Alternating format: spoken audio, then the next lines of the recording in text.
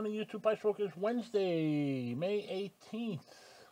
No video yesterday. Had no Wi-Fi or phone. It was out till 1 o'clock from the storms. Sorry I missed you. Anyway, happy hump day. May 18th. High of 72 today. Nice and dry and beautiful sunny blue sky day. Always be polite. Keep small stuff small. Don't miss a thing. Don't think limits.